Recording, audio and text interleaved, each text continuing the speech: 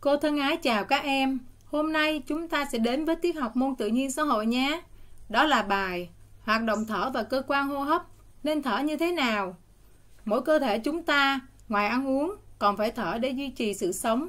Vậy thế nào là hoạt động thở và cơ quan thực hiện hoạt động thở của các bộ phận nào? Chúng ta cùng tìm hiểu qua bài học tự nhiên xã hội hôm nay.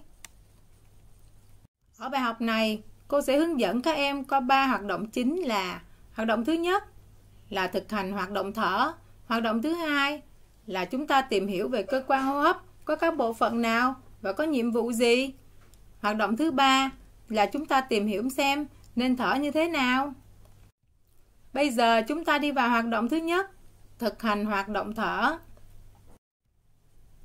Em hãy quan sát hình A và hình B. Bạn trai đang thở và trả lời. Hình nào bạn đang hít vào? Hình nào bạn đang thở ra? Tại sao em biết? Các bạn suy nghĩ và trả lời nhé.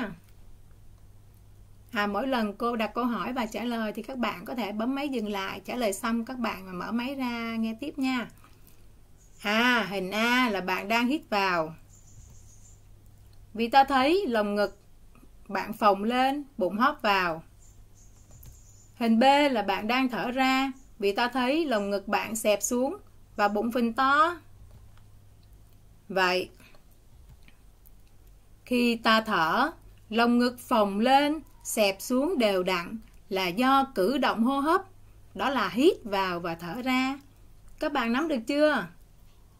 À, sau khi đã quan sát hình bạn trai thở, bây giờ các em tập thực hành thở sâu nhé.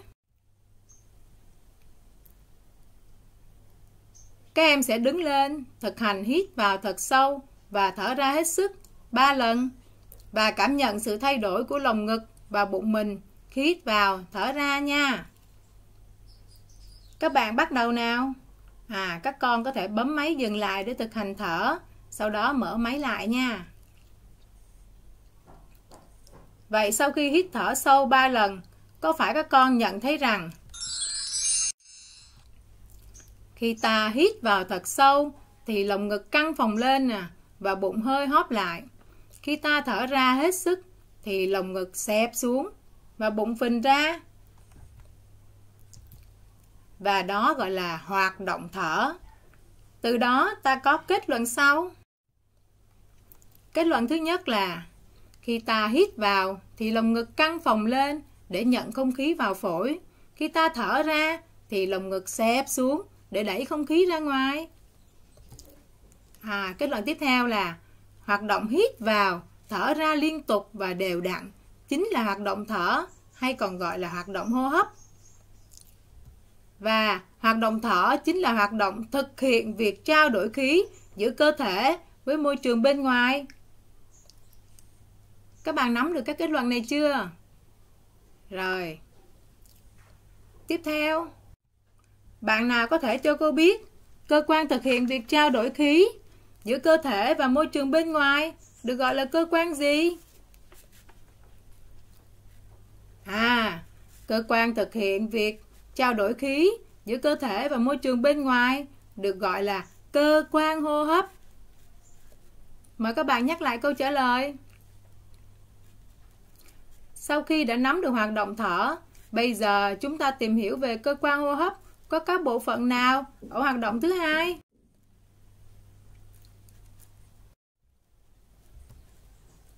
Dựa vào hiểu biết của mình, em hãy quan sát hình dưới đây, chỉ và nêu tên các bộ phận của cơ quan hô hấp nha. Các bạn bắt đầu làm việc nha. Sau khi đã thực hiện xong, à, chúng ta cùng kiểm tra đáp án với cô nào. Bộ phận ở vị trí chữ A gọi là mũi là bộ phận nhìn thấy rõ nhất trên khuôn mặt của mình đó các em. Bộ phận ở vị trí chữ B gọi là khí quản. Bộ phận ở vị trí chữ E gọi là phế quản. Bộ phận ở vị trí chữ C gọi là lá phổi phải. Và bộ phận ở vị trí chữ D là lá phổi trái. À, vậy các bạn đã nắm được à, các bộ phận của cơ quan hô hấp rồi đúng không? Vậy tóm lại, chúng ta có kết luận sau. Cơ quan hô hấp gồm có mũi, khí quản, phế quản và hai lá phổi. À vậy, sau khi đã nắm được các bộ phận của cơ quan hô hấp rồi, bây giờ chúng ta tìm hiểu tiếp đường đi của không khí qua việc quan sát hai hình dưới đây. Các em hãy quan sát hình 1 và hình 2 dưới đây. Hình nào minh họa đường đi của không khí khi ta hít vào? Hình nào minh họa đường đi của không khí khi ta thở ra? Các em suy nghĩ và trả lời nhé. À, hình 1 minh họa đường đi của không khí khi ta hít vào. Vì các bạn thấy không khí đi vào mũi, xuống khí quản, qua phế quản và vào phổi theo dấu mũi tên. Còn ở hình 2 là minh họa đường đi của không khí khi ta thở ra. Vì hướng mũi tên từ hai lá phổi đi ngược lên phế quản, khí quản rồi đi qua mũi ra ngoài. Các bạn nắm được đường đi của không khí à, khi ta hít vào và thở ra rồi đúng không? À, cô sẽ cho các em xem sơ đồ đường đi của không khí để các em hiểu hơn nha. À, đường đi của không khí nè khi ta hít vào thì không khí sẽ đi qua mũi vào khí quản rồi từ khí quản vào phế quản, rồi từ phế quản vào phổi. Rồi, khi ta thở ra thì không khí từ phổi đi ra phế quản, rồi từ phế quản đi ra khí quản, rồi từ khí quản đi ra mũi và từ mũi thoát ra ngoài. Rồi, vậy các bạn đã cô nghĩ là các bạn đã nắm được sơ đồ đường đi của không khí và hiểu được đường đi của không khí khi ta hít vào và thở ra rồi, đúng không? Rồi, bây giờ chúng ta tìm hiểu tiếp xem, cơ quan hô hấp có nhiệm vụ gì? Cô có câu hỏi sau. Cơ quan hô hấp có nhiệm vụ gì? À các bạn hãy suy nghĩ và trả lời nha. À cơ quan hô hấp có nhiệm vụ là nhiệm vụ thứ nhất cơ quan hô hấp giúp cơ thể trao đổi khí với môi trường bên ngoài nhiệm vụ tiếp theo là nhờ có hoạt động thở của cơ quan hô hấp mà cơ thể luôn có đủ khí oxy để duy trì sự sống đó các em à, các bạn biết không nếu bị ngưng thở từ 3 đến 4 phút thì người ta có thể chết đó các em. À, vì vậy nên các em chú ý luôn giữ cho cơ quan hô hấp hoạt động liên tục và đều đặn. Tránh nuốt hay ngậm những vật có thể làm tắc đường thở, rất nguy hiểm đến tính mạng nhé các em. À, vậy các em có nắm được các nhiệm vụ của cơ quan hô hấp chưa? Cô nghĩ là chắc các bạn đã nắm rồi đúng không? Vậy bây giờ chúng ta tiếp tục tìm hiểu xem nên thở như thế nào ở hoạt động 3 ở hoạt động 3 này cô có một câu hỏi mời các em đọc và trả lời câu hỏi đó là nên thở bằng mũi hay thở bằng miệng? Vì sao? À chắc các bạn đã trả lời xong rồi. Chúng ta cùng xem câu trả lời nha.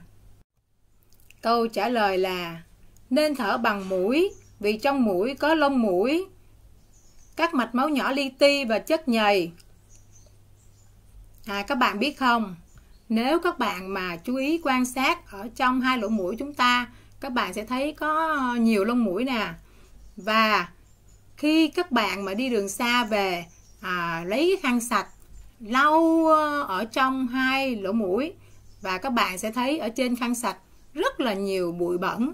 Đó là nhờ những cái lông mũi ở trong mũi chúng ta cản lại bớt bụi lại và làm không khí vào mũi sạch hơn đó các bạn.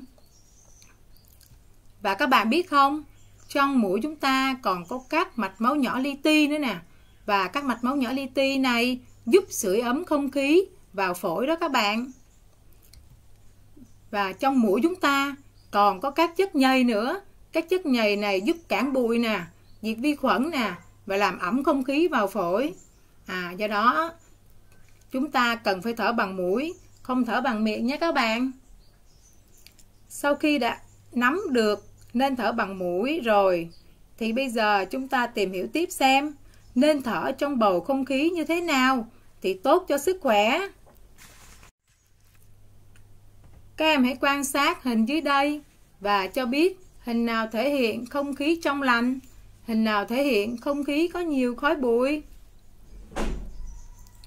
À, hình 1 thể hiện không khí trong lành vì đó là công viên, có nhiều cây xanh và ba bạn nhỏ đang đi dạo rất vui.